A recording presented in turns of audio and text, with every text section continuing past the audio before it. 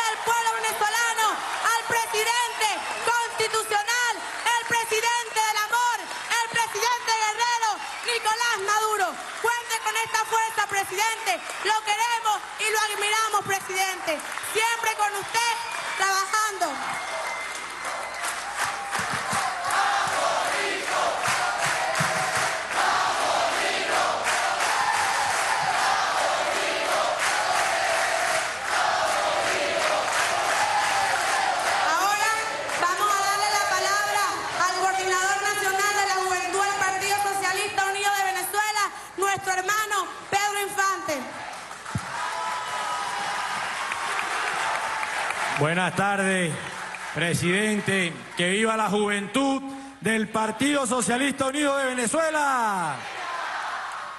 Presidente, bienvenido a este el tercer día de deliberaciones del tercer Congreso de la Juventud del Partido Socialista Unido de Venezuela. Ya Jennifer Garbet, nuestra hasta hace apenas unos días presidenta de la Federación Venezolana de Estudiantes de Educación Media, dirigente de la OVE pero que además asumió ser candidata por su municipio y es delegada territorial, electa en su territorio, en su municipio, a este tercer Congreso de la Juventud del Partido Socialista Unido de Venezuela.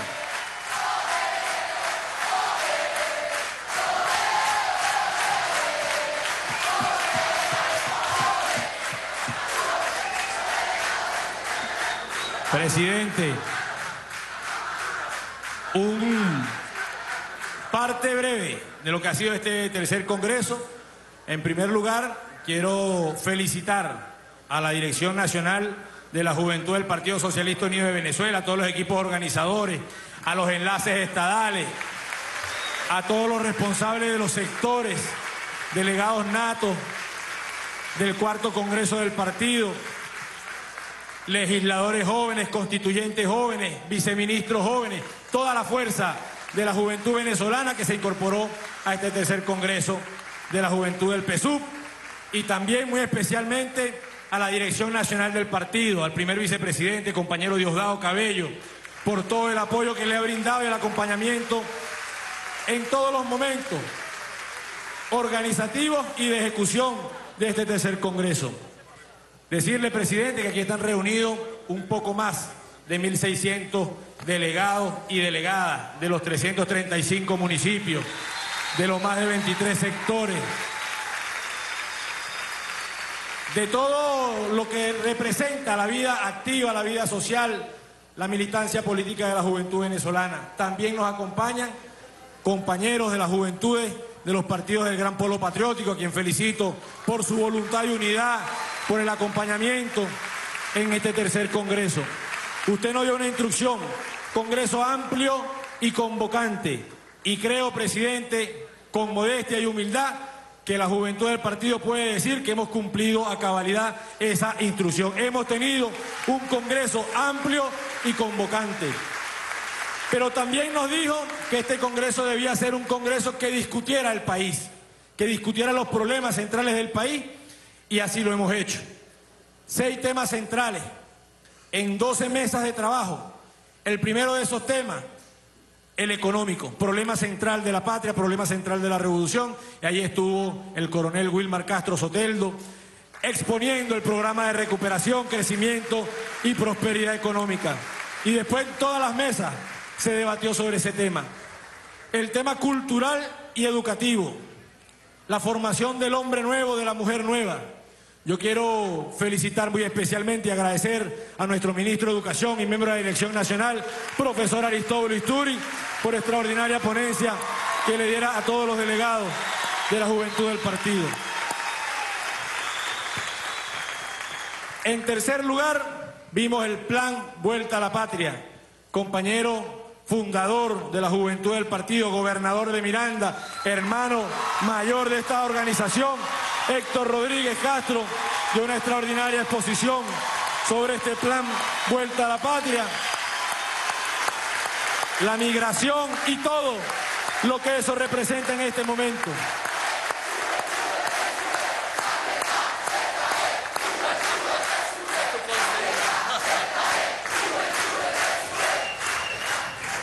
También nos acompañó comandante Francisco Amelia Horta, extraordinaria exposición vinculando dos temas vitales, organización y defensa, la RAS, y ahí surgieron varias orientaciones. Ya el presidente, con alguna de las líneas que nos dé el día de hoy, presidente, una de las conclusiones es que este Congreso debe permanecer en debate con los estatutos de la juventud del partido para adaptarlo a las nuevas orientaciones emanadas del cuarto Congreso del Partido Socialista Unido de Venezuela. Y también queremos agradecer, ayer no pudimos hacer la ponencia del tema comunicacional y las nuevas tecnologías, pero el día de hoy magistral exposición hizo el compañero Jorge Rodríguez Gómez, ministro de Comunicación y vicepresidente de Comunicación y Cultura del país.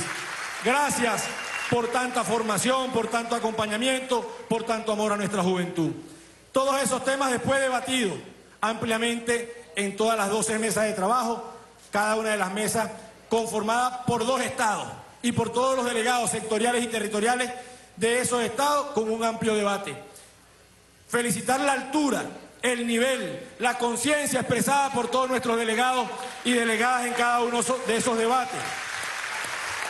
Pero también informar que ayer a las siete y media de la noche nos visitó la compañera María León y dio una extraordinaria exposición sobre el socialismo feminista. Destacar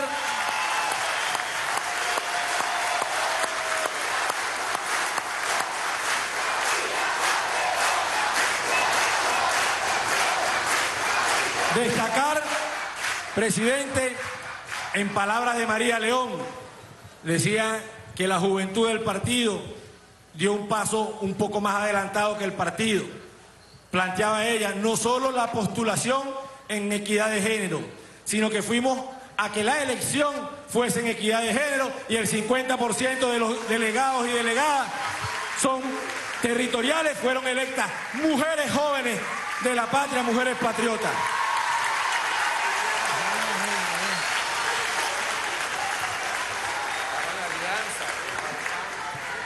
También saludar desde acá a las VC. Fueron más de 12 mil asambleas de unidades de batalla Bolívar Chávez donde se postularon y escogieron nuestros delegados. Más de 320 mil jóvenes que participaron en estas asambleas. 80% de los que participaron en esas asambleas con menos de 25 años. Pero además, 60% de las que participaron en esa asamblea fueron las mujeres jóvenes que están convencidas en la revolución, en la construcción del socialismo y que juntos podremos construir la patria hermosa, la patria próspera.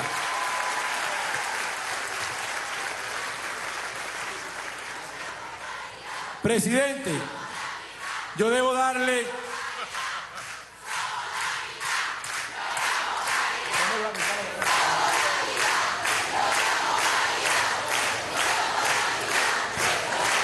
Debemos darle la palabra a dos voceros que van a hablar de las conclusiones de las mesas. Pero antes, presidente, en nombre de la Dirección Nacional, queremos hacerle entrega y bautizar aquí delante de nuestro tercer Congreso de un libro que recoge 10 años de historia de esta la más grande organización política de la juventud que ha, que ha tenido la historia de Venezuela en los últimos 200 años. Acá, presidente, le hacemos entrega de este libro que con humildad todo ese equipo, quiero felicitar a Rodolfo Crespo, a Robert Zapoleo, que estuvieron al frente de la tarea de la edición de este libro, que recoge 10 años de historia de la juventud del PSU.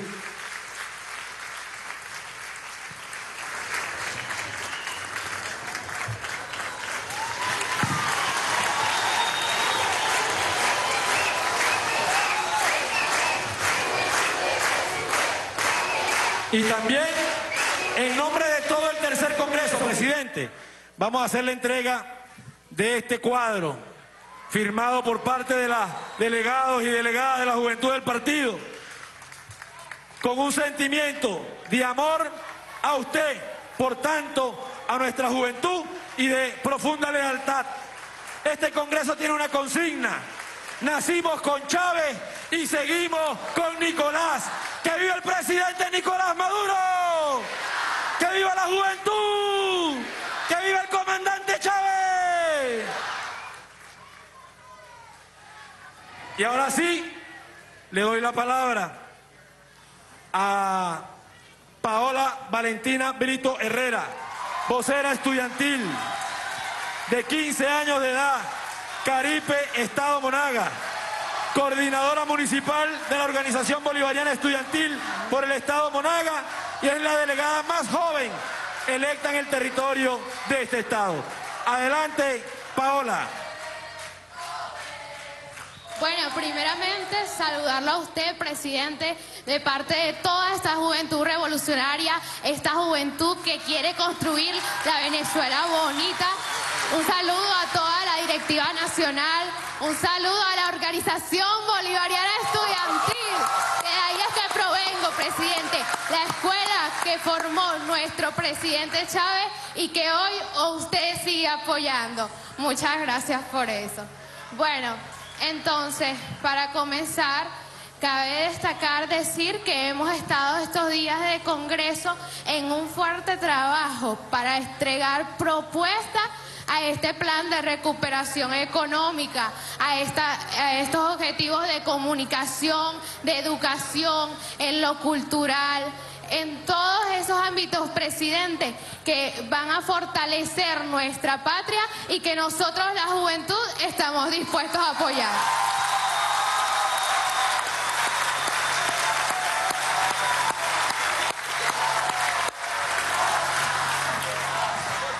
Bueno, presidente, durante estos días estuvimos en diferentes regiones reunidos y estuvimos eh, debatiendo las seis líneas estratégicas de nuestro Congreso.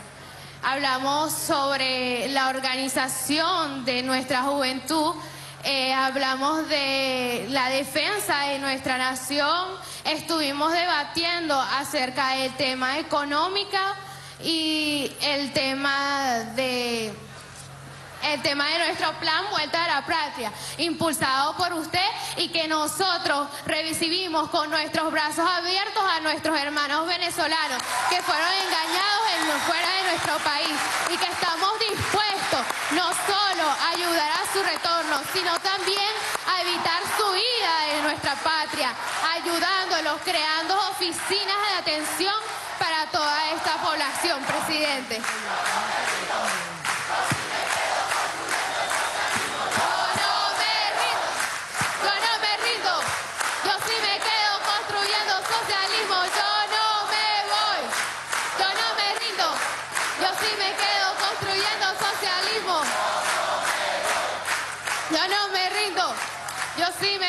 Construyendo el socialismo, presidente. Me dejaron sola, pero vamos, pues la consigna. bueno, este, ¿qué más, presidente?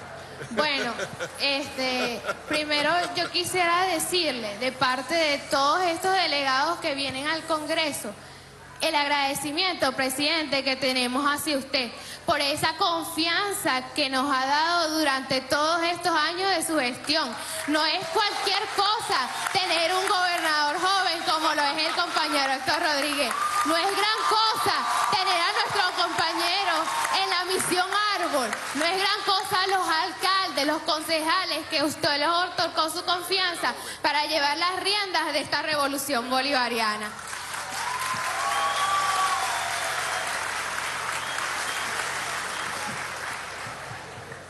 Bueno, presidente, entonces procedo a lo que es un resumen de lo que estuvimos debatiendo en nuestras mesas. En este caso, eh, yo estoy un poco más informada de la región del Tamacuro y Monagas. Pero estoy seguro que en todas nuestras regiones hay propuestas de altura y llenas de potencialidad para impulsar nuestro plan de la patria 2019-2025.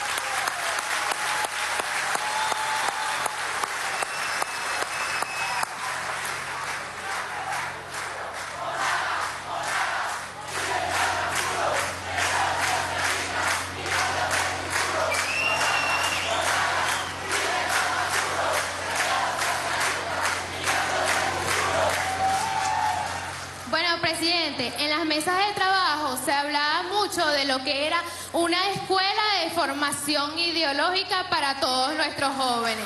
Una escuela para formar esos jóvenes y combatir la guerra mediática que nos tienen, presidente. No podemos dejar que la desinformación invada a nuestros jóvenes. Nosotros tenemos que ser garantes de que ellos conozcan la verdadera revolución, los proyectos que hemos ido abarcando y que seguimos apoyando. Aparte de eso, este, hablaron mucho de lo que era la fiscalización del el control de productos por parte de los jóvenes. Nosotros ser eh, nosotros ser lo que van a estar ahí fiscalizando todo ese tipo de procesos para evitar que todas las personas que quieran especular a nuestra patria logren sus objetivos.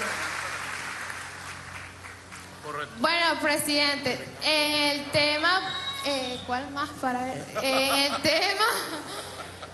El, tema Plan Vuelta a la Patria y también el tema de defensa de la nación. Hablamos mucho que no solo hay que, eh, hay que ir desde la lucha armada, presidente, también hay que ir atacando lo de la defensa de la nación con lo comunicacional. No todos son las armas, nosotros también tenemos que ayudar a la defensa de la nación a través de la formación de nuestros jóvenes, a través de ir ayudando, a través de lo comunicacional, de lo político, lo económico, presidente. En el plan Vuelta a la Patria hablábamos de lo que era no solo ayudar al retorno, no, presidente, sino también evitar que nuestros compañeros salgan de la patria. Tenemos que ayudar, crear oficinas de ayuda a esos compañeros para atacar esos problemas que ellos tengan y que no salgan de nuestra patria, decía nuestro compañero Héctor Rodríguez, ayudar a nuestros compañeros, formarlos, ser parte de ellos y estar nosotros junto a ellos y no dejarlos en esa batalla. Porque si sí van, nosotros sentiremos que hemos fallado, porque no lo hemos enamorado de nuestra nación, de nuestra patria.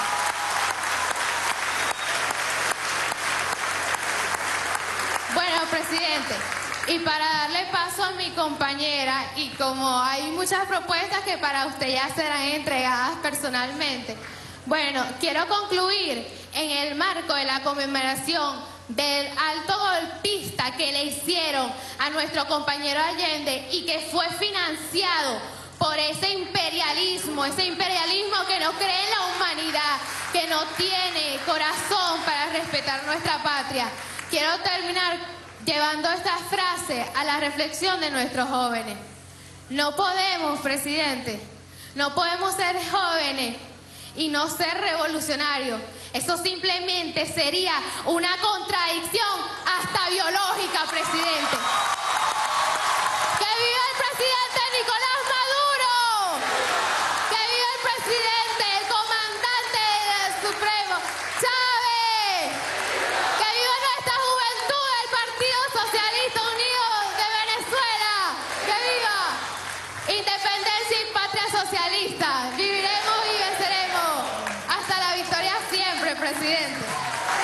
Bueno, con esta alegría y esa clar- claridad de una joven de apenas 15 años del Estado Monaga, delegada territorial al tercer Congreso, vamos a recibir también ahora a una vocera que además de la Comisión de Mujeres Jóvenes y es del Estado Vargas, 23 años, Luzmiali Perdomo, que, que estuvo en la mesa de Caracas y Vargas. Adelante, Luzmiali. Buenas tardes, yo quiero comenzar mi intervención pidiendo otro fuerte aplauso para nuestra compañera Paola, quien es parte de esa generación que es fruto de los 10 años de trabajo que hemos venido desde la juventud del partido. Paola, eres una vocera digna de esta juventud. Quería comenzar saludando a nuestro líder indiscutible, presidente Nicolás Maduro, Saludar a todos los- delegados y delegadas que hoy nos encontramos acá, delegados territoriales, sectoriales, todos los sectores, mujeres jóvenes que hoy están aquí gracias a que se tomó en cuenta la paridad, pero la paridad en todos los sentidos, la paridad desde las postulaciones hasta las elecciones. Somos más de la mitad en este Congreso de la Juventud del Partido Socialista Unido de Venezuela. Presidente, bueno, tuvimos seis ponencias, hoy se sumó una más, la ponencia de comunicación muy buena, sin embargo yo quiero recalcar la de nuestra Leona, la ponencia de nuestra María León, quien planteó el feminismo como un problema económico. Y eso hay que discutirlo, es un reto de esta juventud discutir el feminismo desde el problema económico, porque no el capitalismo que es un problema económico que afecta a toda la sociedad. Entonces, María León nos decía que hay 3.500 mujeres, amas de casa, que no son tomadas en cuenta dentro de ese PIB. Pero somos las mujeres las que garantizamos la reproducción del capital. ¿A la hora de qué? Bueno, a la hora de que el hombre se va a trabajar y es la mujer la que le plancha, la que le cocina, la que cría a los niños. Y entonces, ¿qué estamos haciendo? Reproduciendo el capital. Me explico mejor. ¿Cómo lo reproducimos? Bueno, el capitalismo le paga al hombre solo lo que necesita para sobrevivir. ¿Y la mujer quién le paga? Entonces son 3.500 mujeres que no están siendo visibilizadas. 3 millones y medio de mujeres que no están siendo visibilizadas y eso es parte de la discusión de este tercer Congreso de la Juventud del Partido. Además, quería, presidente, decirle que la jornada ha sido totalmente exitosa. Al igual que mi compañera Paola, yo estoy más informada de la región central, Caracas Vargas. Tremenda, tremendo debate, de verdad. Yo quiero felicitar a todos los delegados y delegadas que estamos aquí porque hemos, hemos tenido un proceso de altura, hemos tenido unas propuestas que se pierden de vista. Propuestas como, por ejemplo, armar una comisión entre Conatel, PSU y Juventud del Partido para que revisen toda la programación televisiva, radial.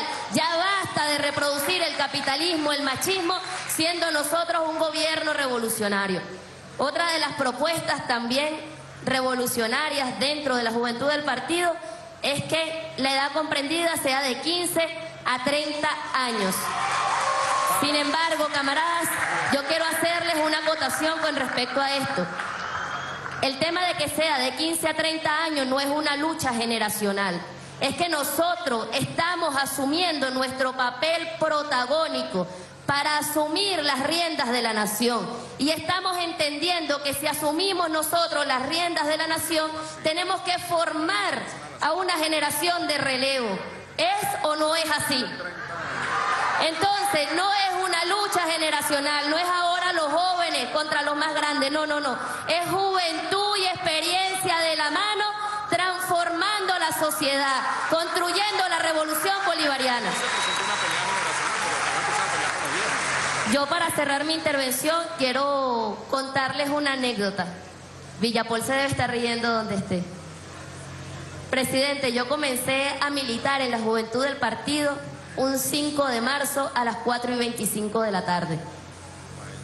Escuché a mi mamá llorando, bajé, lo oí a usted diciendo que habíamos sembrado a nuestro comandante Chávez y me fui a la Plaza Bolívar de Catialamar. Y allí vi a Bolívar y le dije, Bolívar, ¿y ahora qué hacemos? No tenemos a Chávez. Bueno, me sentí con la responsabilidad de que tenía que sumarme a una organización para que esta revolución no cayera en manos de los oligarcas históricos de este país y que volviéramos a aquella noche oscura que ahora asedia a Latinoamérica. Entonces, presidente, yo ahí con Bolívar decía, ok, yo tengo que militar en alguna organización, yo no puedo dejar que la revolución bolivariana se caiga y eso es responsabilidad mía, porque yo solo lo que hago es ir a votar. Y no puede ser así. Yo sé que algún día voy a ver al presidente Nicolás Maduro y le voy a dar un abrazo y con eso voy a sellar mi compromiso con la revolución bolivariana y con todos estos jóvenes que hoy indiscutiblemente asumimos el liderazgo del presidente Nicolás Maduro y nos restiamos con lo que usted nos diga, Nacimos con Chávez,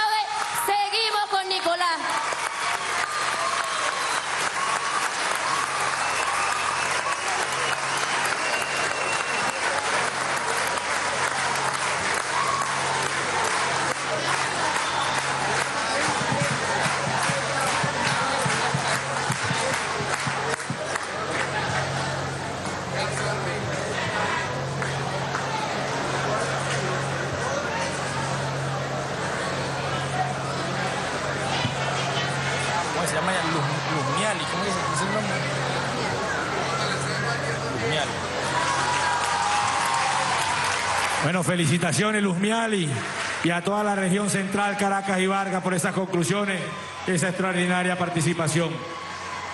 Ahora sí, vamos a recibir entonces, muchachos, con mucha fuerza y alegría, al presidente, conductor de Victoria, presidente de la juventud, al compañero, hijo de Chávez, Nicolás Maduro Moros.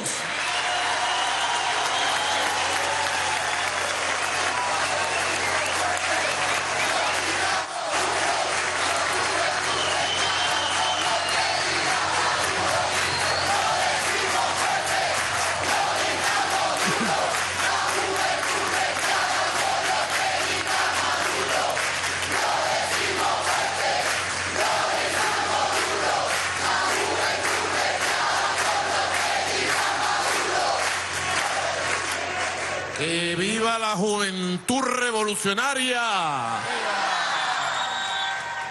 Que viva la juventud chavista y bolivariana. Bueno, un gran saludo. Le pido a los técnicos el sonido porque yo no me escucho. mejorar un poco. Estoy muy feliz. He estado atento, siguiendo toda la jornada de preparación del Congreso, del tercer Congreso de la Juventud del Partido Socialista Unido de Venezuela, todas las postulaciones, la elección de los 1.577 delegados y delegadas. Los felicito y las felicita.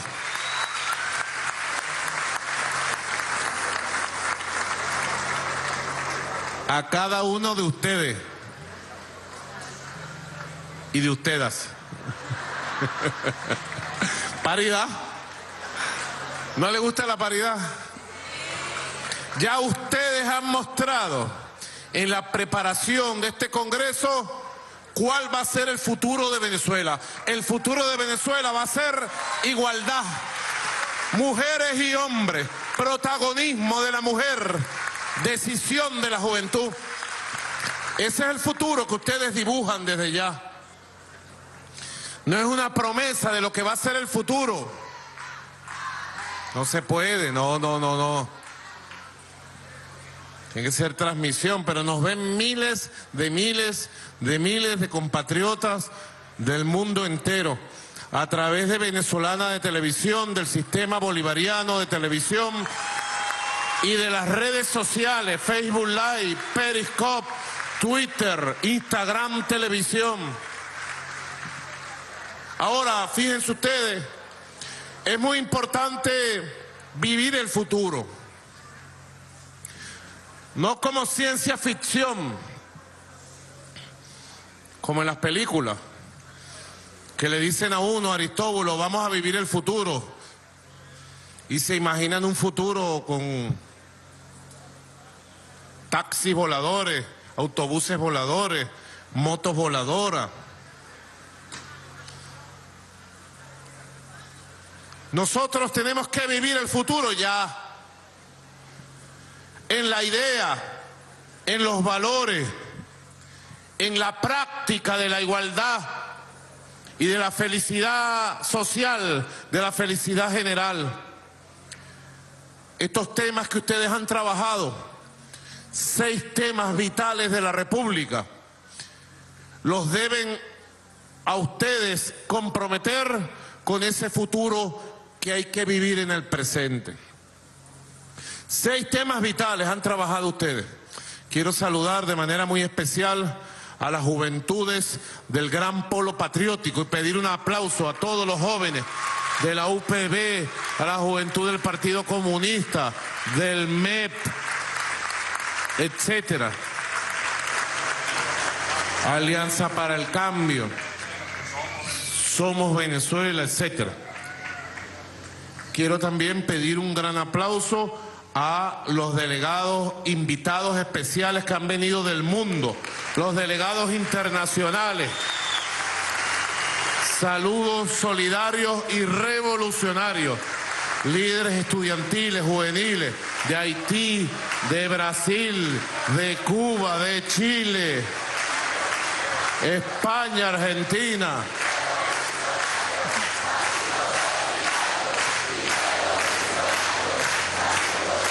Hoy se está conmemorando 45 años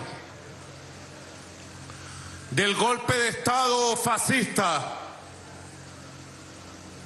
que dio el imperialismo norteamericano contra el presidente legítimo, constitucional, democrático de Chile, el gran líder Salvador Allende. Que viva Allende.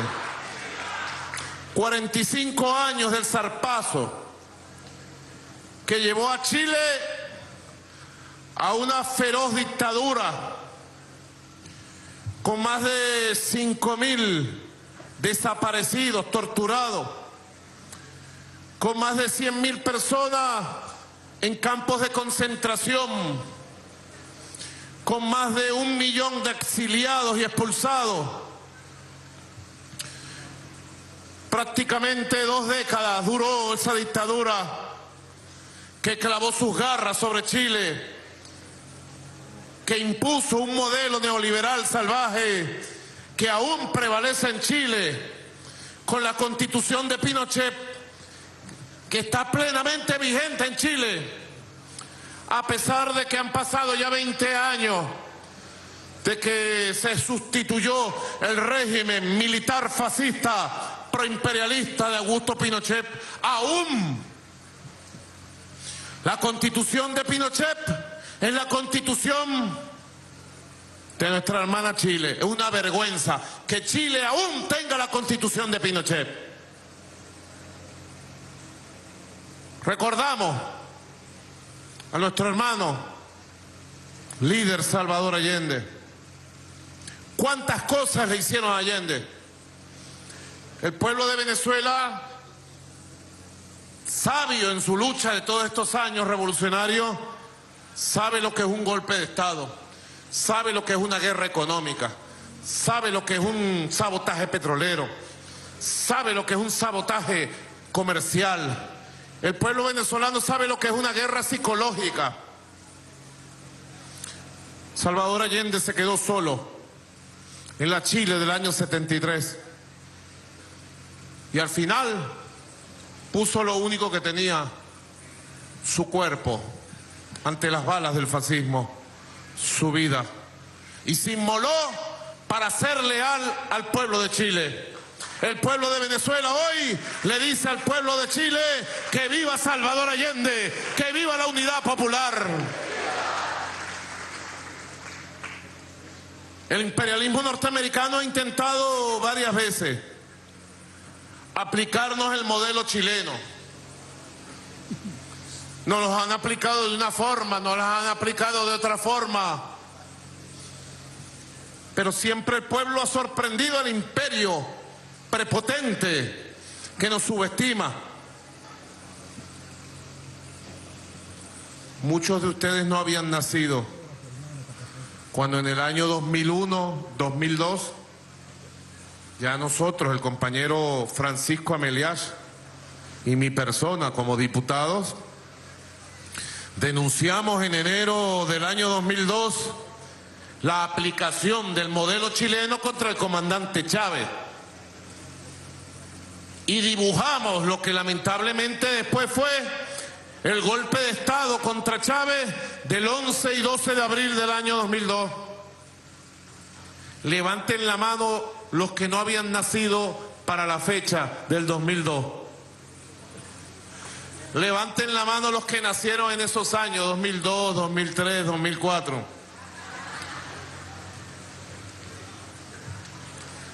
Levanten la mano los que eran unos niños y unas niñas para esa época.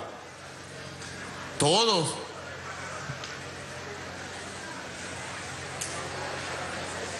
Ustedes apenas estaban naciendo o estaban muy chipilines o estaban en la escuela primaria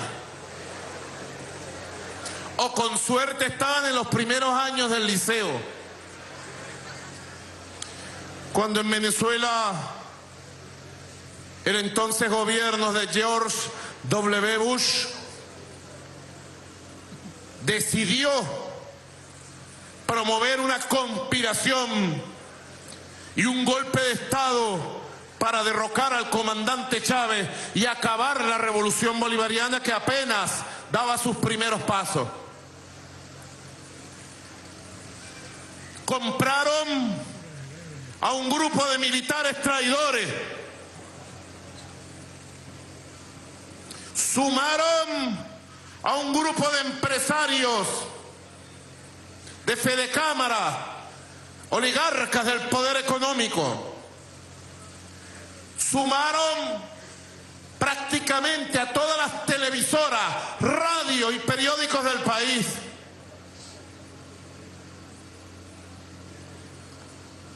Captaron a los restos de la vieja mafia sindical de la Confederación de Trabajadores de Venezuela, CTV. Ustedes seguro ni saben qué es eso. Gracias a Dios y a la Virgen. la CTV falleció de muerte natural.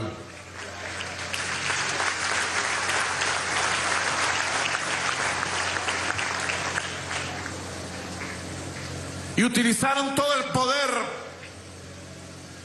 para encajonar al país, llevarnos a un callejón sin salida y ejecutar un golpe de Estado criminal contra el comandante Chávez.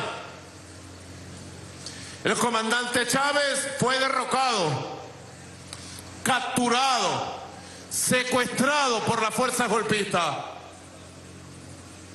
Y ellos creyeron que ya el favor estaba hecho, pues, que ya el mandado estaba hecho. El 11 de abril, el 12 de abril, destituyeron todos los poderes públicos aquí en Miraflores. Pero le faltaba por tomar en cuenta un pequeño detalle, pequeñísimo, pero decisivo la conciencia mayoritaria del pueblo venezolano y de los militares revolucionarios, bolivarianos, patriotas, constitucionalistas de Venezuela. Y al modelo imperialista, pinochetista, que le aplicaron Allende y le aplicaron al comandante Chávez, le surgió una poderosa respuesta cívico-militar en el contragolpe revolucionario victorioso del 13 y 14 de abril del año 2012. La insurrección de la revolución de abril del año 2002. Así la llamaba el comandante Chávez. La revolución de abril del año 2002. Una revolución cívico-militar de profundo carácter popular y democrático que barrió a Pinochet. No pudieron en Venezuela. No pudieron imponer un Pinochet en Venezuela. El pueblo lo barrió. Y yo lo digo hoy, luego de haber pasado todo lo que me ha tocado pasar, compañero. Jason Guzmán, compañero gobernador de la juventud Víctor Clar, compañero Héctor Rodríguez, compañera Loa Núñez, compañero Pedro Infante, compañera Mayerlin Aria. Luego de lo que me ha tocado pasar, vivir, conspiraciones, guerra económica, persecución financiera, guerra mediática. Guarimba 2014, Guarimba 2017. Y luego de haber visto la muerte al frente mío aquel 4 de agosto, luego de haber derrotado la muerte en aquel atentado fascista del 4 de agosto, yo digo, señores imperialistas, señores golpistas, no se equivoquen porque si se atrevieran nuevamente les pasaríamos por encima con la fuerza de la unión cívico-militar y la conciencia del pueblo venezolano. No se equivoquen, señores imperialistas, señores fascistas. Alerta, alerta.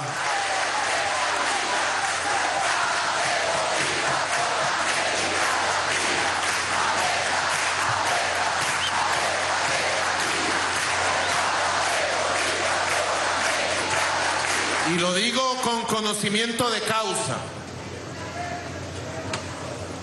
La orden está dada. Si los golpistas, los imperialistas, la oligarquía se atreviera a romper las reglas de juego y me hicieran algún daño, Dios me libre, Dios me salve. Ustedes a la calle, a la carga, a la batalla, a la revolución total y radical del siglo XXI venezolano,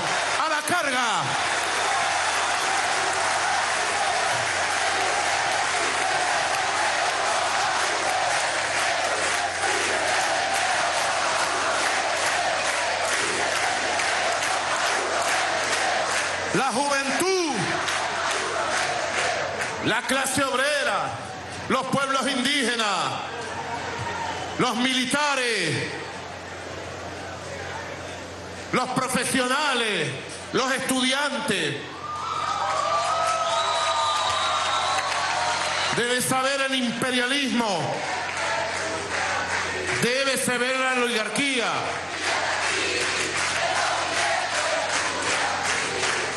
La fuerza. Poderoso movimiento estudiantil. La fuerza de patria que somos. Deben saber. Porque ellos nos subestiman. Cuando ellos me subestiman a mí, Madurito, me dicen Madurito. Cuando me subestiman,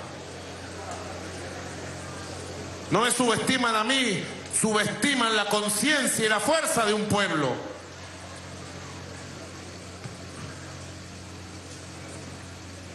Y saben que en Venezuela se está, se está jugando el destino de América Latina y el Caribe. Y no han podido ni podrán con nosotros. Por ninguna vía podrán con nosotros.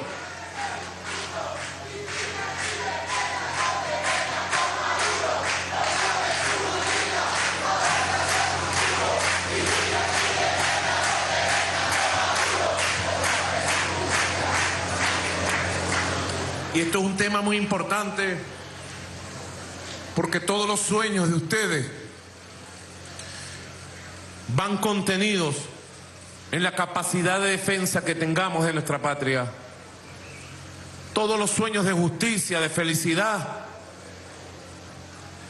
toda la esperanza renovada que ustedes tienen a los 14, a los 15 años, a los 20, a los 30. Hoy toda la esperanza de la juventud se resume en una sola palabra, revolución, revolución, revolución.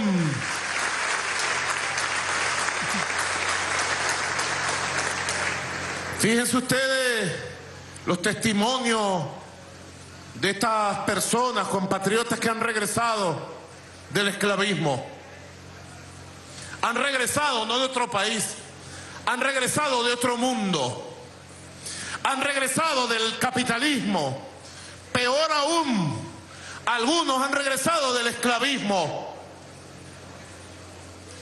La gran mayoría de los que han regresado fueron engañados. Yo diría el 100%. Con paquetes falsos Porque una característica de la migración venezolana es que sale del país con el bolsillo lleno de dólares. Lo mínimo que llevan, 5 mil dólares. Eso es platica, ¿o yo? Venden una moto, venden un carro y algunos han vendido hasta el apartamento.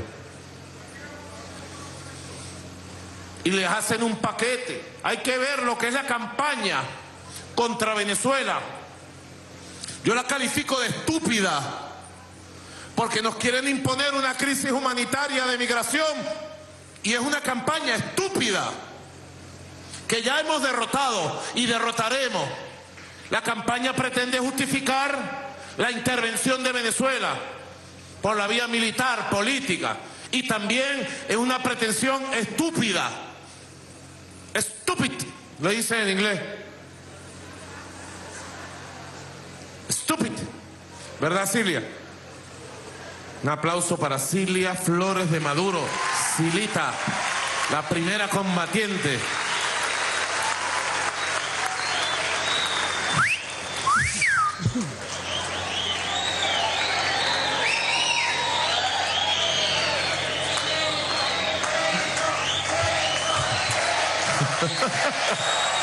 Son faranduleros, vale. No sean faranduleros. Miren, yo califico esa campaña de stupid. Stupid. Para que me entiendan, porque la oligarquía extiende cuando uno le habla en inglés. Se le van las paticas. Paquetes completos. Véngase a Lima y sea socio de una empresa que le va a dar tal porcentaje de ganancia o inversión mínima 5 mil dólares y llegará y llegan. Una campaña brutal, muchachos, ustedes me entienden. Por Facebook le llega todos los días mensajes y mensajes. Por Instagram, por Twitter y la gente, hay alguna gente que se deja sugestionar. Las grandes mayorías no. Porque las grandes mayorías están en Venezuela, trabajando, estudiando, luchando. Es una minoría que se ha dejado sugestionar y ahora despierta de una pesadilla. Y lo primero que me dicen es, Maduro manda el avión. Y yo le mandé el avión, pues, el avión, el avión. Que vaya, puente aéreo, claro que sí. Pues yo soy presidente de ellos también, aunque no me quieran. Soy presidente de los que me quieren y de los que no me quieren también. Presidente de todos los venezolanos, de todas las venezolanas.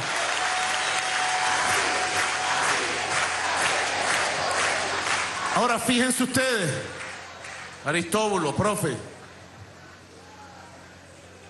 fíjense ustedes, un grupo de venezolanos en medio del crujir de la guerra económica 2017-2018, antes de que activara el programa de recuperación económica, crecimiento y prosperidad, cayó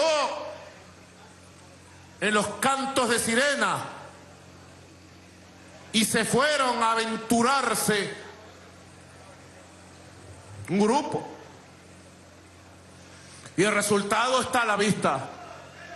Perdieron su dinero, terminaron trabajando como trabajo esclavo, fueron víctimas de xenofobia, de desprecio, de odio, de campañas en contra de Venezuela. Y ha llegado el momento, yo había preparado desde hace meses el plan Vuelta a la Patria y llegó el momento de activarlo y yo ratifico ante la juventud venezolana, vamos al plan Vuelta a la Patria. Vénganse para Venezuela a trabajar, a producir, a estudiar, a vivir libremente, sin esclavismo. Venezuela es un país hermoso, con patriotas, delegaciones del exterior que nos visitan. Venezuela es un país de un pueblo cálido, igualitario, solidario. Yo lo dije ayer, en Venezuela no se discrimina a nadie, no se persigue a nadie por su nacionalidad, por su religión, por su color de piel. Venezuela es el país del futuro, del diálogo de civilizaciones y cultura. Fíjense ustedes, la oligarquía colombiana encabeza la campaña contra Venezuela en el mundo. Como dijo nuestra vicepresidenta Delcy Rodríguez, ellos pretenden, la oligarquía colombiana, chulear a la comunidad internacional pidiendo miles de millones de dólares para robárselo con el cuento y la excusa de la migración venezolana. Pero miren los numeritos, tomen nota por allá, no se me dispersen. Venezuela, Venezuela, tomen nota. Chaca la cuenta, como decía por ahí una propaganda hace tiempo, chaca la cuenta, chaca la cuenta. En Venezuela es un país receptor de migración internacional. Eso no se dice. Entre nosotros viven. Comiencen a sacar la cuenta, Héctor. 5 millones 600 mil colombianos. 500 mil ecuatorianos. 500 mil peruanos.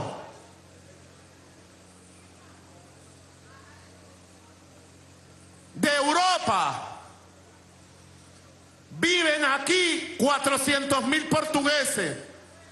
Díganme ustedes en qué pueblo, en qué barrio no hay un portugués. Dueño de la Bastu o de la panadería. Díganme ustedes. Más de, más de uno de ustedes son nietos, hijos de portugueses. Mis parabéns con usted. Viven 250 mil italianos, 200 mil españoles, un millón de compatriotas árabes que han venido de Siria, de Libia, de Palestina. Algo más de 500 mil chinos.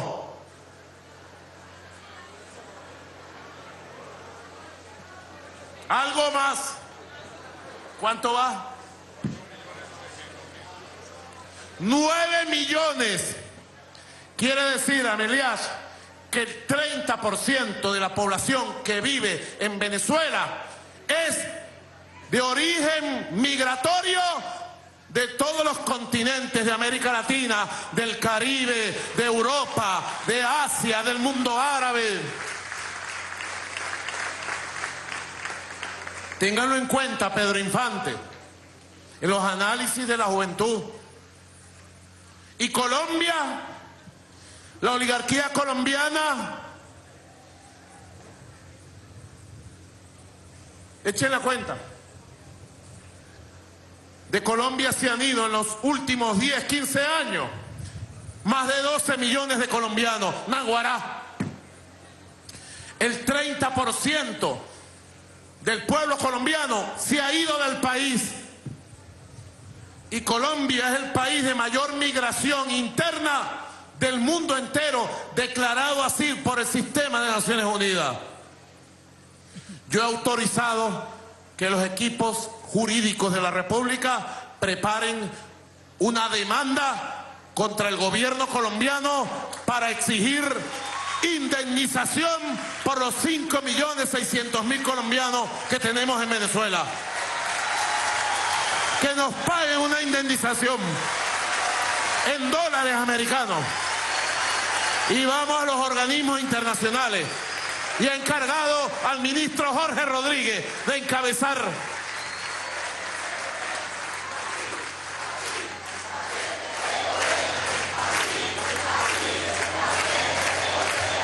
Ahora, esto es importante, muchachos, son datos que hay que decir ante la campaña de difamación diaria en el mundo que pretende crear una sensación de crisis humanitaria. ¿Quieren ver la crisis humanitaria? Váyanse a los restaurantes de las Mercedes, de Altamira y la Castellana esta hora, para que vean la crisis. Que decir la verdad, de Colombia se han ido, vayan sacando cuenta. 5 millones 600 mil para Venezuela. 2 millones 500 mil a Estados Unidos. 2 millones 500 mil colombianos entre España y el resto de Europa. A donde vaya usted a Europa, consigue un colombiano trabajando que ha huido de la miseria, del hambre, de la guerra, del neoliberalismo en Colombia. Y por lo menos se calcula un millón quinientos mil colombianos entre Costa Rica, Panamá, Ecuador, Perú, Argentina y Chile. Chaca la cuenta. Casi 12 millones o más de colombianos que han migrado al mundo. ¿Con qué moral la oligarquía colombiana arma la campaña contra Venezuela? Yo rechazo y repudio esta campaña y anuncio que vamos con todo a exigir la indemnización que merece Venezuela por la migración colombiana que viene diariamente a nuestro país. Ahí están las imágenes del puente Simón Bolívar de Cúcuta. Un sábado como el sábado pasado, estaba de guardia en el puesto presidencial Ernesto Villegas. Él lo sacó por Twitter. Y ustedes ven en la mañana la cantidad de compatriotas colombianos que viven en el Táchira y pasan a visitar sus familias el fin de semana. Y luego agárrese duro.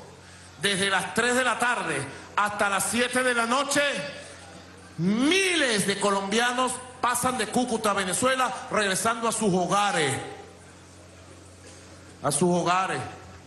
¿Por qué no se quedan allá? Porque Venezuela es Venezuela. Venezuela es la patria del libertador Simón Bolívar.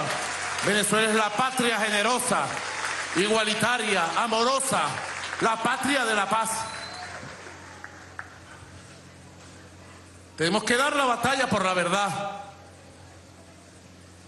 Contra los fascinerosos, los mentirosos. Contra los fast news que les explicó el compañero Jorge Rodríguez. Yo quiero agradecer las intervenciones de Paola Valentina Brito Herrera. Paola, de 15 años, gracias por tus ideas, tu sonrisa, tu mirada, tu corazón. Gracias, Paola. Que Dios te bendiga, Paola.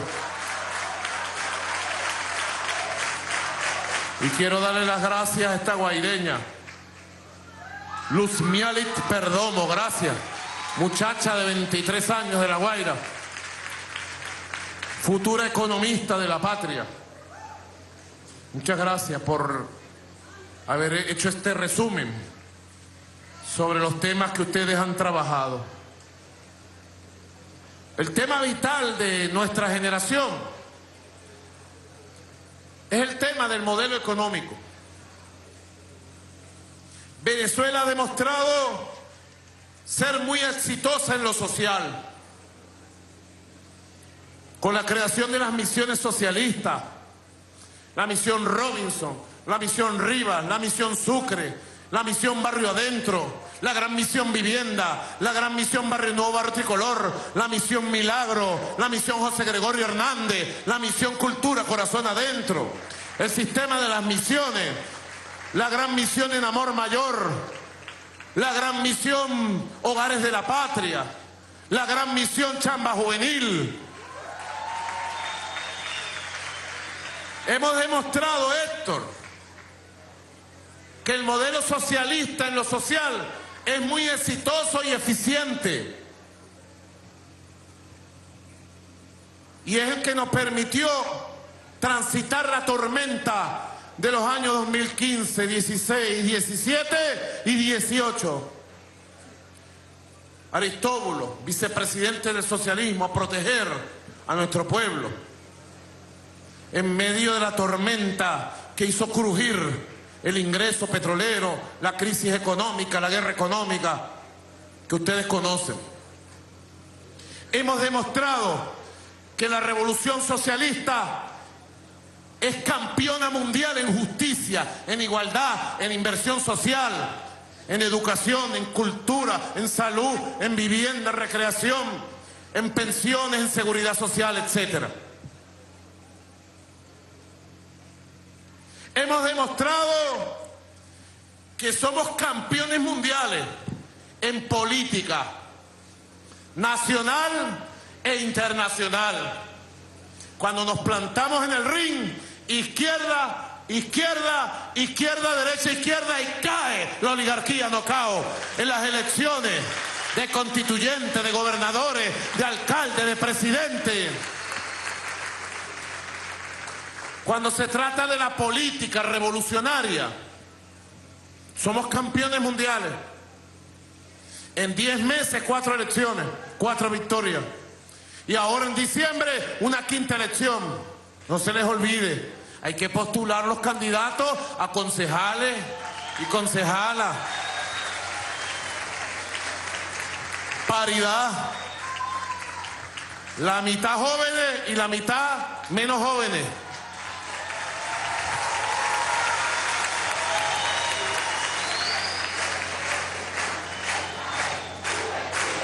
La mitad mujeres, la mitad hombres. Si somos campeones mundiales en lo social, si somos campeones mundiales en lo político y en lo diplomático, nos falta conquistar un campeonato mundial. El campeonato mundial de la revolución económica productiva, de la felicidad y del equilibrio económico, de la tranquilidad económica. Es el gran reto. Muchachos de la OVE, aquí hay delegados de 14 años, de 15 años. La juventud más joven, más tierna. Que Venezuela lo vea. 13 años este delegado. Hugo se llama. ¿Cómo te llamas tú? No te creo. Dale un micrófono. Móntate en una silla para verte bien.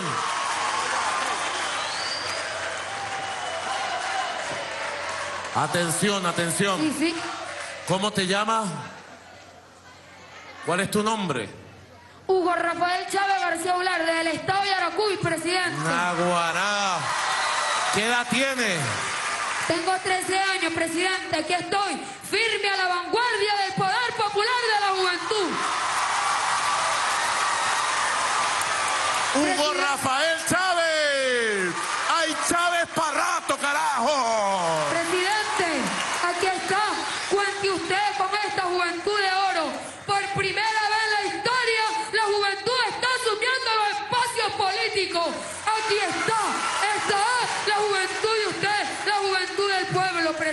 Hoy la organización bolivariana estudiantil de donde vengo, presidente.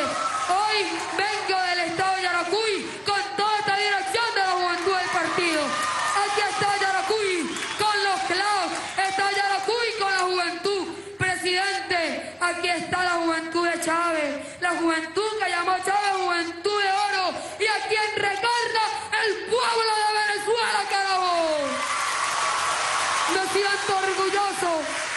siento orgulloso, presidente, de pertenecer a la mejor generación.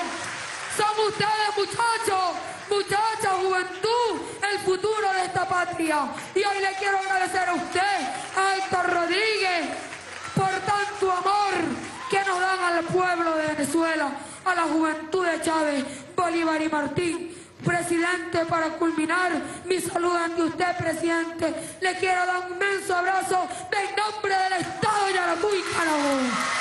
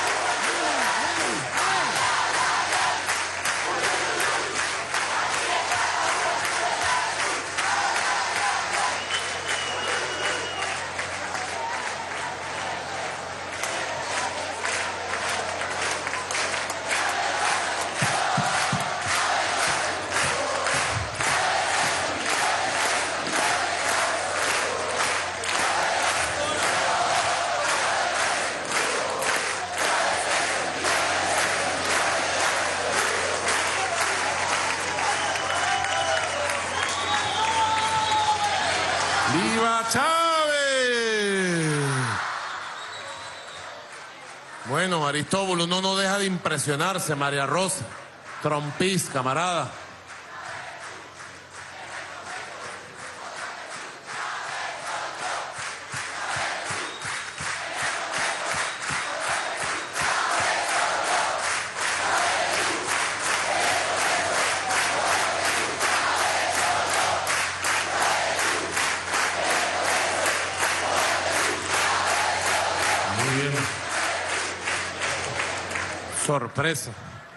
Como dice la canción de Rubén Blades. La vida te da sorpresa, sorpresa te da la vida, ay Dios. ¿Quién iba a pensar que Hugo Rafael Chávez Fría iba a tener 13 años y iba a estar sentado aquí como delegado electo de las bases del Congreso de la Juventud? Son cosas bonitas, ¿verdad? Que expresan por qué el proceso revolucionario venezolano es indestructible, pues está sembrado profundamente en la verdad de la conciencia nacional. Ahora, volviendo al tema, yo he activado el programa de recuperación económica con 10 líneas estratégicas de acción. Crecimiento económico con 16 motores para la prosperidad del país. ¿Cuál es el objetivo? La prosperidad del país, la igualdad y la felicidad social del pueblo. Siempre hay que tener el objetivo, claro. Y he puesto en el centro una nueva fórmula. Si nos impusieran un modelo de guerra económica, donde el capital tomó el control y convirtió en mercancía y dolarizó la vida económica del país, yo le volteé el juego a la burguesía y puse al trabajo, puse al salario y puse al Bolívar soberano en el centro de un proceso de recuperación, de crecimiento, de expansión de la riqueza, de las fuerzas productivas de la nación. La juventud obrera, clase obrera, así es. Una nueva fórmula. Estamos en la cuarta semana y puedo decir que hemos arrancado bien. 90 días de instalación. 90 días de instalación del programa de recuperación económica y en los primeros días se demostró la justeza de anclar el Bolívar al Petro, de convertir el Petro en una unidad de cuenta de la nación y de fijar el salario mínimo de la clase obrera en medio petro. Medio petro, pues, ha sido el programa de recuperación económica. Que tendrá su factor de corrección permanente. Y el trabajador tendrá siempre su medio petro como mínimo de las tablas. Ya eso ha significado un respiro para el trabajador, para la trabajadora. Respiro. Ahora nuestro reto es la producción, el abastecimiento seguro y permanente el respeto a los precios acordados.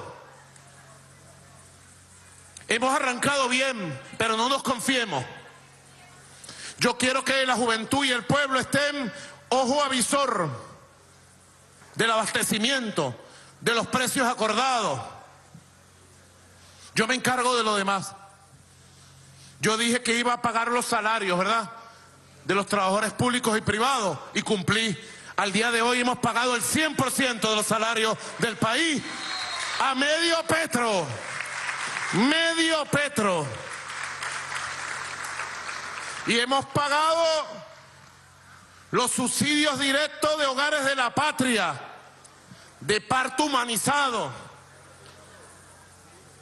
de la misión José Gregorio Hernández, de lactancia materna, solo en hogares de la patria, Víctor, claro.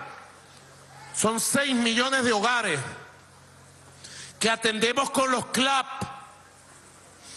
pero además atendemos con directamente el bono del Bolívar soberano repotenciado. Puedo decir que ya hemos arrancado el plan de recaudación de los tributos, de los impuestos, y se está recaudando día por día y la recaudación está buchona. El equilibrio fiscal va bien. Y muy pronto voy a eliminar el déficit fiscal que tenía Venezuela y vamos a tener déficit fiscal cero, lo cual mejora toda la economía nacional.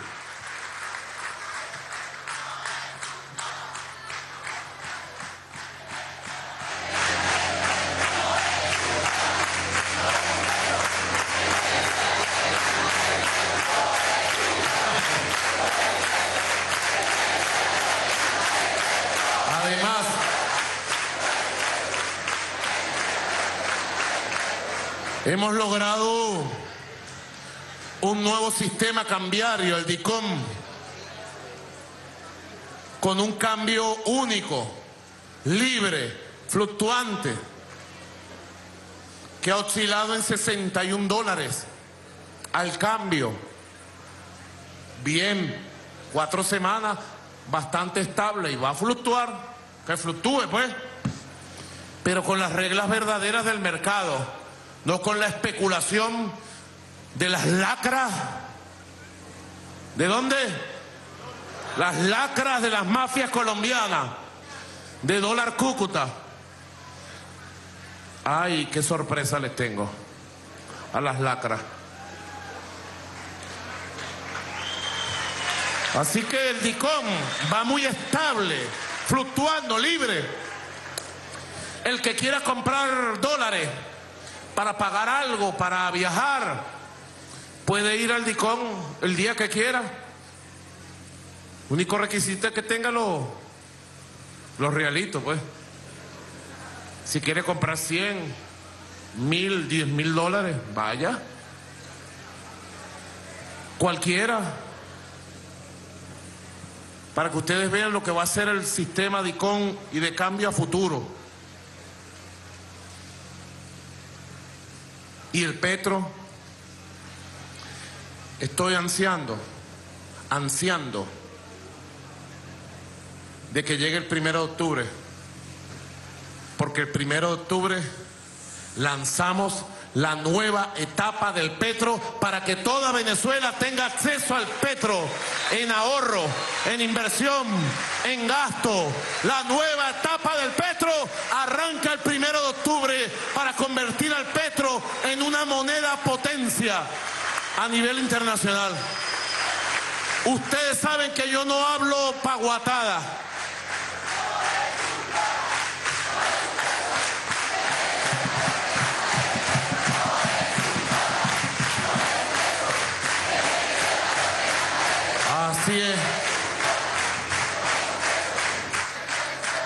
El Petro llegó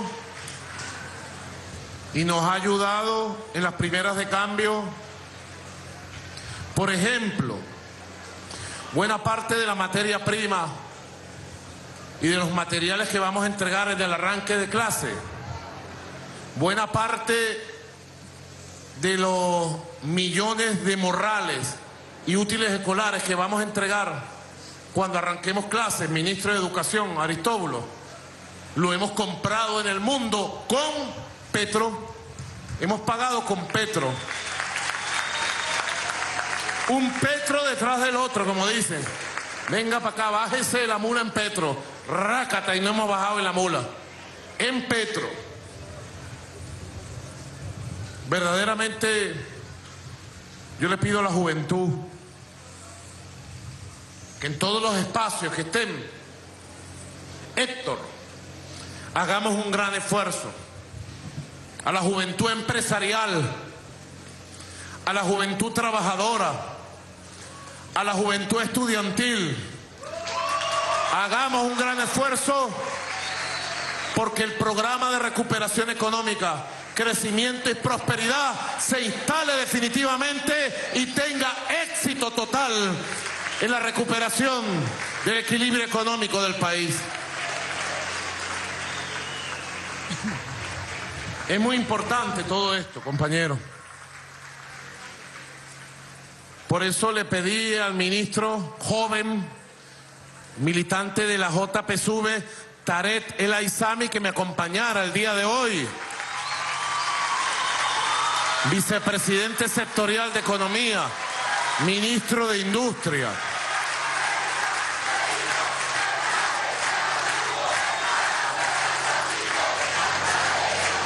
Mérida y Aragua se alborotan.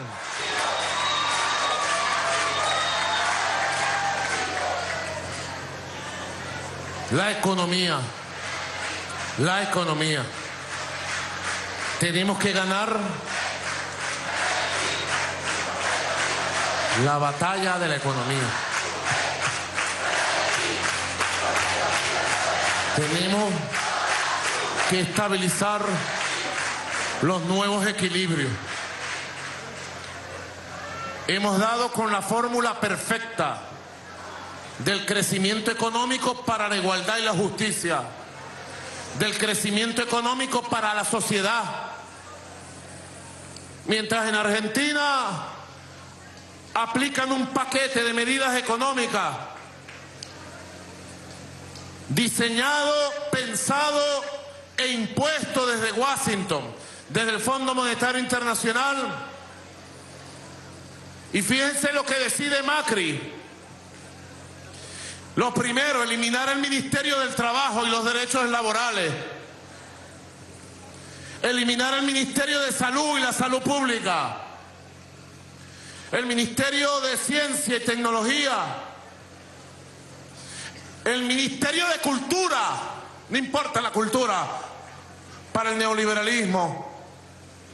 Despedir miles de trabajadores. Congelar y disminuir las pensiones ese es el modelo que necesitan nuestros países.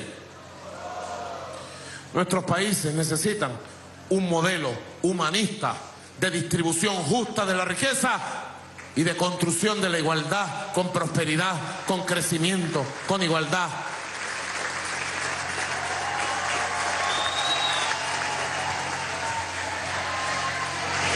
Eso es muy importante, ganar y yo estoy dedicado a esto 24 horas del día. Como nunca antes me había dedicado a la economía.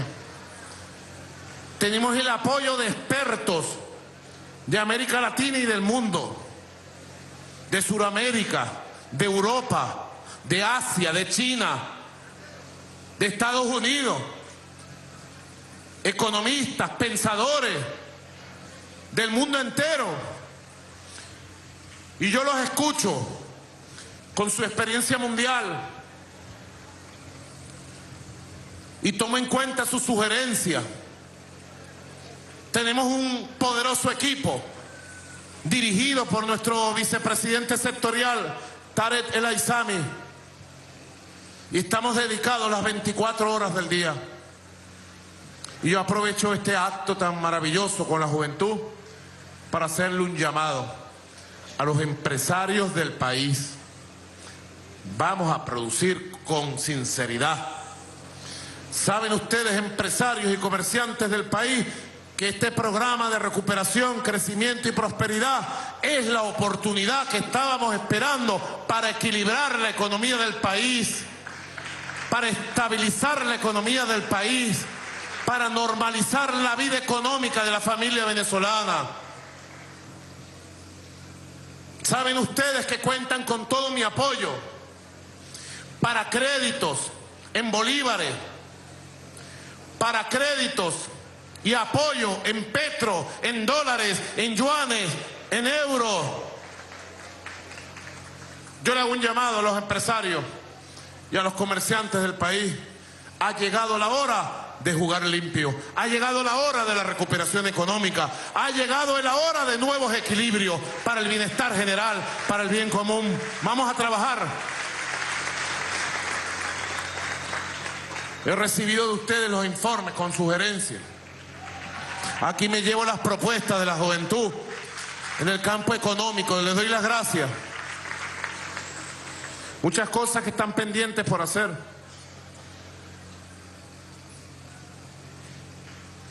Creo que fue Paula Valentina, que propuso el tema de la formación política, ideológica, cultural de la juventud.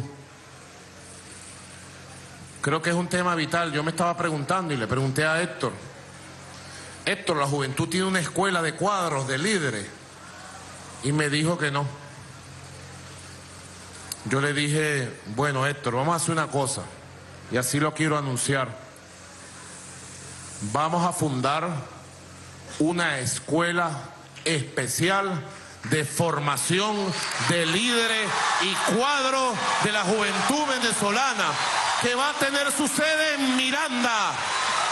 Y le he pedido al compañero Héctor Rodríguez que asuma la dirección y fundación de esta gran escuela de formación de líderes de la juventud venezolana, latinoamericana y caribeña. ¿Están de acuerdo? Háganlo con la señal de costumbre. Aprobado.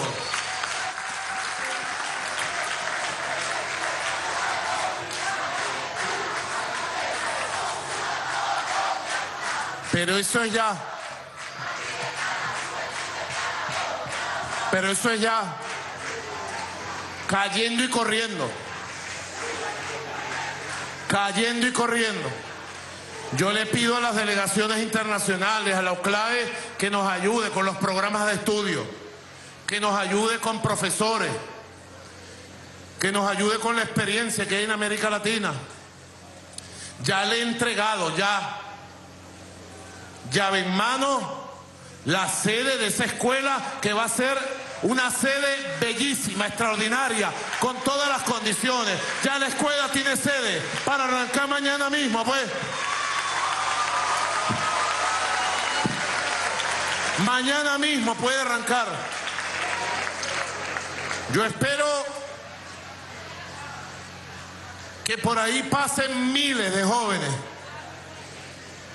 Yo quiero participar en los cursos de formación como profesor y como alumno también, junto a la juventud. Es muy importante, es muy importante. Lo decía Paula Valentina y lo dijo Luz Mialet.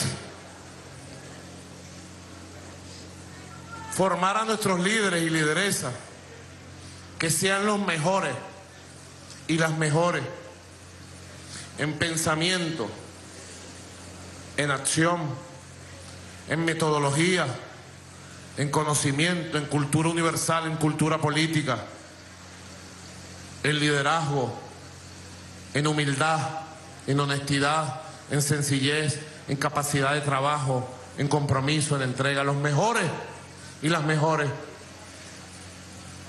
Porque de ustedes es el futuro de Venezuela y de América Latina y el Caribe. Desde ya, las puertas de esa escuela están abiertas para los líderes estudiantiles y juveniles de América Latina, del Caribe y del mundo, para que vengan a compartir con nosotros la experiencia maravillosa de la revolución bolivariana del siglo XXI. Vengan, bienvenidos. Yo tuve una experiencia bella cuando tuve 23 años. Pude participar del sistema de escuela de formación política de Cuba entre los años 86 y 87, 87 inolvidable, el siglo pasado. Estaba jovencito. Yo soy militante revolucionario desde que tengo 12 años. Tengo 55, 43 años por el pecho. Y los que faltan. Yo conocí a Aristóbulo cuando yo tenía 7 años. Aristóbulo era secretario general de la juventud del MEP. Y llamaba a la casa. Y el nombre me llamaba la atención a mí, Aristóbulo. Llamaban dos personas, Aristóbulo y Astroberto. Parecían que de Marte, pues Aristóbulo y Astroberto. Astro, Aris, maestro, líder sindical. Desde los 12 años me tocó. Y viví, de verdad es una experiencia maravillosa, poder compartir. Que vengan a, Venezuela.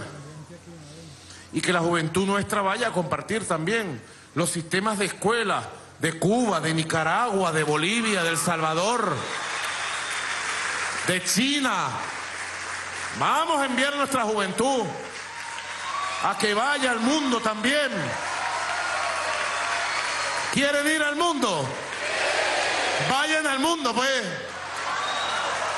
Aunque yo sé que Héctor tiene mucho trabajo.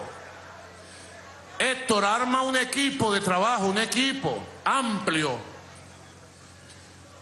Y tú te pones al frente hasta que logremos conseguir a alguien que se dedique solo a esa tarea, pero para que arranque y sea fundada esa escuela, te encargo a ti, Héctor. Así como fundaste junto a una generación la juventud del PSUV. Miren qué bonita la portada de esta semana del periódico 4F. Aquí está Hugo Rafael Chávez Frías también, con 13 años, con su imagen, su mirada visionaria, presidiendo el tercer Congreso de la Juventud. Qué buen periódico. Recomiendo la lectura de todos los artículos del periódico 4F. Yo lo reproduzco por mi Twitter, Instagram, Facebook. Todas las semanas reproduzco el periódico. Y ustedes deben comprarlo, conseguirlo, estudiarlo, debatirlo. Ustedes saben que ayuda mucho al desarrollo del intelecto y de las ideas. Debatir, estudiar en círculos de estudios colectivos, agarrar un artículo. Aquí está, por ejemplo, algún artículo del periódico y ponerse a estudiarlo y debatir, sacar conclusiones. Va desarrollando la capacidad de argumentación, la capacidad de pensamiento crítico, la capacidad de generación de ideas, la capacidad política. Y nosotros necesitamos una juventud revolucionaria y socialista que en Venezuela sea la vanguardia del futuro desde ya. Y tenga un gran pensamiento, un gran vuelo político hacia el futuro. También hay algunas tareas organizativas. Estamos discutiendo el nuevo modelo organizativo del Partido Socialista Unido de Venezuela. Estamos creando las estructuras de el jefe de calle, la jefa de calle y el jefe o jefa de comunidad.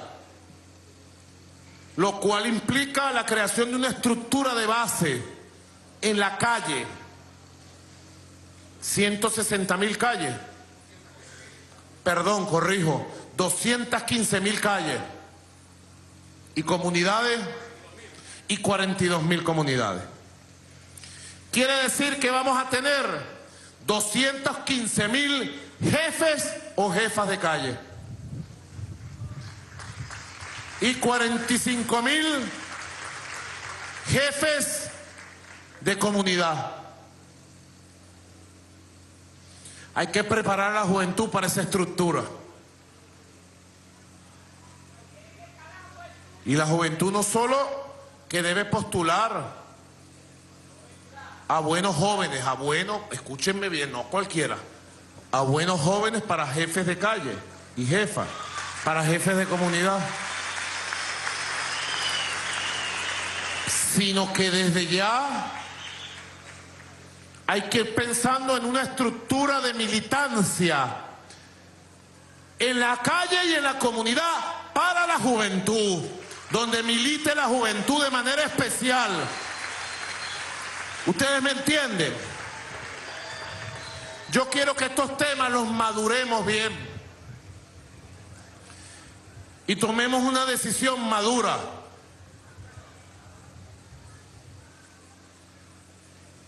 Por eso voy a proponer desde el punto de vista político, organizativo, que el Congreso, tercer Congreso de la Juventud, extienda sus deliberaciones hasta el 31 de diciembre de este año. Hasta diciembre de este año. Para poder madurar bien el proyecto organizativo de los próximos años de la JPSUV. ¿Ustedes están de acuerdo? aprobado, pues.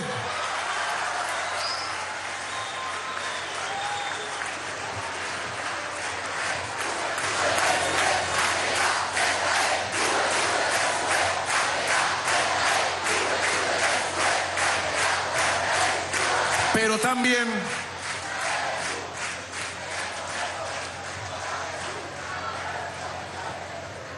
Pero también yo quiero tomar una decisión hoy.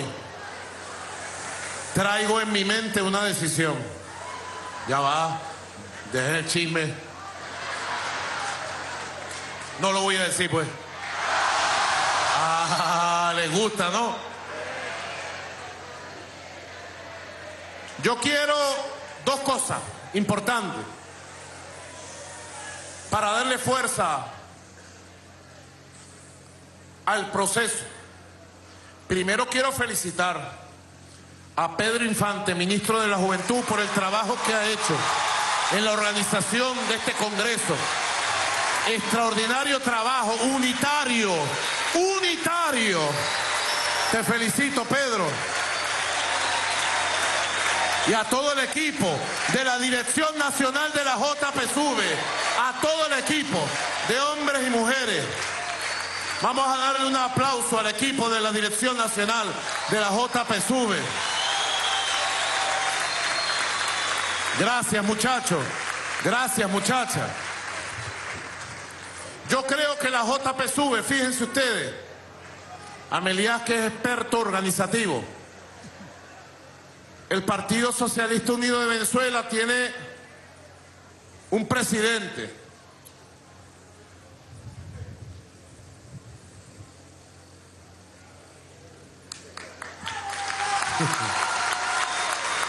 Ahora en el Congreso del partido me ratificaron por unanimidad en la responsabilidad de presidente del Partido Socialista Unido. Y tenemos un primer vicepresidente, el camarada Diosdado Cabello Rondón, en el cual yo delego muchas tareas, muchas tareas. Diosdado funciona como algo así, un secretario general. Y después tenemos vicepresidentes sectoriales, lo cual es muy bueno, y territorial. Yo estoy ahora recibiendo las listas para nombrar la nueva dirección nacional en una sesión especial organizativa que vamos a tener dentro de unas dos semanas aproximadamente para tomar la decisión de la nueva estructura organizativa y yo pedir el apoyo para una nueva dirección nacional designada de acuerdo a los estatutos por el presidente, o sea, por mí. Por eso es que dice que soy un dictador. Ustedes saben que eso es mentira, es un chiste. Chiste malo del imperialismo. Ahora, en el uso de mis facultades como presidente del Partido Socialista Unido de Venezuela y viendo los avances de ustedes,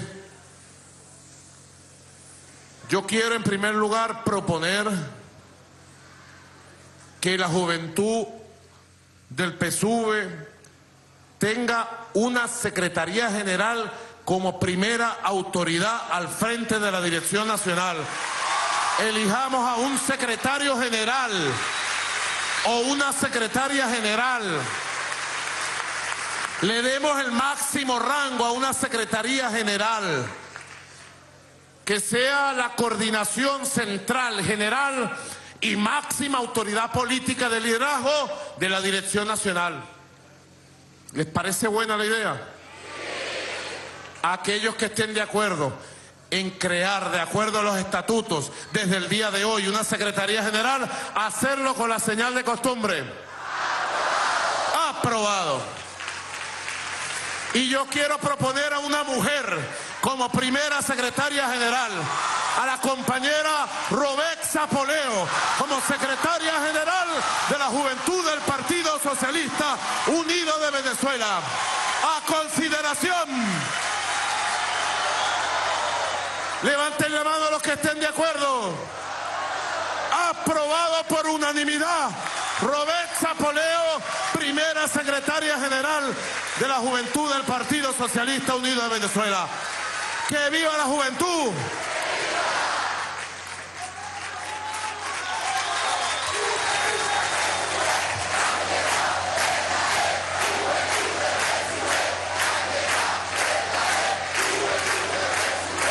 Yo la sorprendí a ella. Cuando llegué, la sorprendí. Porque la saludé y le dije, Roexa, te voy a proponer como secretaria general de la juventud. Y se sentó hasta ahorita fría, tiene las manos. Yo quiero que le des un saludo, Robert. Una mujer de la cultura, una mujer de los barrios, al frente de la juventud, con un equipo unitario con un equipo poderoso, pero yo quería una mujer al frente. Yo quiero que la mujer tenga el poder político en Venezuela. Quiero que la mujer sea el futuro de Venezuela. Robexa, un saludo, por favor. Bueno, en primer lugar, presidente, agradecerle, agradecerle enormemente la confianza. Siempre he dicho que con el comandante Chávez yo aprendí lo que era el amor a la patria, lo que era formarme en valores, pero con usted aprendí a militar. Cuando muchos solo vieron a la cantante, usted vio en mí al actor político capaz de transformar, de construir, de conducir y de organizar. Por eso siempre le estaré agradecida, presidente. Como sé que le están agradecidos la mayoría de los jóvenes venezolanos que hoy asumimos liderazgo político en las distintas instituciones, movimientos, organizaciones juveniles. Hemos dicho que el Partido Socialista Unido de Venezuela es el partido más grande de Latinoamérica y en población, si se quiere, el partido más grande del mundo. Por lo tanto, un militante de su juventud debe ser capaz de conducir, de organizar, de convocar permanentemente desde el amor, como nos lo enseñó el comandante Chávez, desde la sonrisa, desde el abrazo. Un líder y una lideresa debe tener la facultad de que otro se vea en él o en ella y se reconozca, vernos a los ojos y reconocernos, presidente. A pesar de que decidí militar a través del canto, de la palabra, de las ideas, también entendí que es necesario estar dentro de la estructura para poder transformarla. Y es lo que estamos nosotros logrando hoy día, transformando nuestras estructuras desde lo más profundo, con mucha conciencia, forjados al calor de las luchas del comandante Chávez y decididos profundamente a, militar al lado de usted. Un hombre que con nobleza, que con amor, que con formación también nos ha invitado. Comandante Chávez es amor y desde el amor nos convocó nos invitó a pensarnos distintos. Usted es dignidad y es lealtad. Y no solo es fiel a los principios del comandante Chávez, sino que nos invita de manera permanente a nosotros también conducirnos en esos principios de las causas justas, de las causas humanas. Nosotros hace poco tuvimos la oportunidad de hablar desde la Asamblea Nacional Constituyente, presidente, y decíamos y recordábamos que éramos los bicentenarios de aquellos que dieron su vida para que hoy nosotros podamos decir que somos libres, soberanos e independientes, que somos los bicentenarios de aquellos que allá en 1817 y 1819 hablaron de la visión bolivariana de la República, que nos invitaron a la organización permanente, a la transformación, a romper paradigmas, que somos los bicentenarios de aquellos que en 1821 consolidaron la independencia de Venezuela con Bolívar, que somos los bicentenarios y tuvimos la oportunidad de decirlo desde el Perú, presidente, en la cumbre de las Américas y la cumbre de los pueblos, donde no se le permitió por una decisión unilateral, excluyente, ilegítima, a usted participar. Pero desde allá, desde Perú, nosotros dijimos que donde estuviera un hombre revolucionario y revolucionaria, defensores de las ideas del comandante Chávez, ahí iba a estar Nicolás Maduro. Y desde Perú también les recordamos que en 1824 nuestro gran mariscal de Ayacucho, Antonio José de Sucre, selló la independencia de la América Latina y echó a los españoles de la América Latina. Por lo tanto, presidente, nosotros nos comprometemos con usted a que en 1830 vamos a celebrar la inmortalidad de Bolívar que en 1850 vamos a celebrar el tricentenario de Miranda y que le vamos a decir a esos dos grandes de la historia, Bolívar, Miranda, te cumplimos. Aquí está la generación por la que ustedes dieron la vida, por la que derramaron su sangre para que hoy nosotros podamos ser libres. Aquí estamos Chávez y te cumplimos. Y aquí estamos presidente con mucha dignidad y le cumplimos.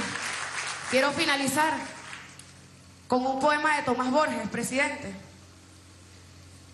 que, invita al abrazo, a la sonrisa. Y él dice, mi venganza personal será el derecho de tus hijos a la escuela y a las flores. Mi venganza personal será entregarte este canto florecido sin temores. Y luego dice Tomás Borges, mi venganza personal será mostrarte la bondad que hay en los ojos de mi pueblo. Implacable en el combate siempre ha sido y el más firme y generoso en la victoria. Cuando vos, aplicador de la tortura, ya no puedas levantar ni la mirada, mi venganza personal será mostrarte estas manos que una vez vos maltrataste sin lograr que abandonaran la ternura. Gracias, presidente, por ser tan noble, por jamás abandonar la ternura y por conducirnos por los caminos de dignidad, de amor y de formación a una juventud que se forjó al calor de las luchas del comandante Chávez y que hoy le dice, párese firme, presidente, que aquí está su pueblo, usted es el comandante. Gracias, presidente.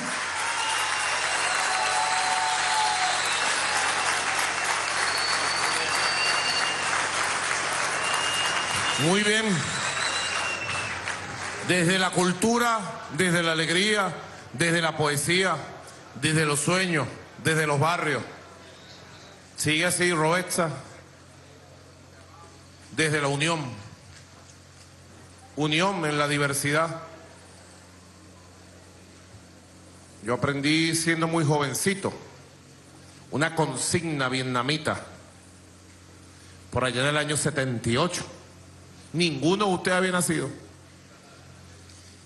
Una consigna vietnamita que decía, Robexa decía, unir a todo el que pueda ser unido contra el enemigo principal. Guíate por eso, Roesa. Une en la juventud del PSUV a todos los venezolanos, a toda la juventud que quiera convocarse. Desde el gran polo patriótico, Robexa, de donde vienes tú, el gran polo patriótico, convoca de manera unitaria a toda la juventud del gran polo patriótico. Y vayamos con esa alegría, con esa frescura, con esa poesía, con la Venezuela de verdad. Ustedes son la Venezuela de verdad. No se dejen quitar el futuro, no se dejen quitar los sueños. Es tiempo de resistir, es tiempo de luchar. Quiero, en esta primera sesión del tercer Congreso de la Juventud, pedirles, muchachos, decirles, ha sido una jornada muy provechosa enriquecedora. Ustedes tienen una visión de país. Hay que ver que una generación completa ya tenga una visión de país. La derecha no tiene una visión de país. Y la juventud que la derecha ha logrado convocar en los últimos años la ha convocado para la violencia, la guarimba, el terrorismo, la conspiración.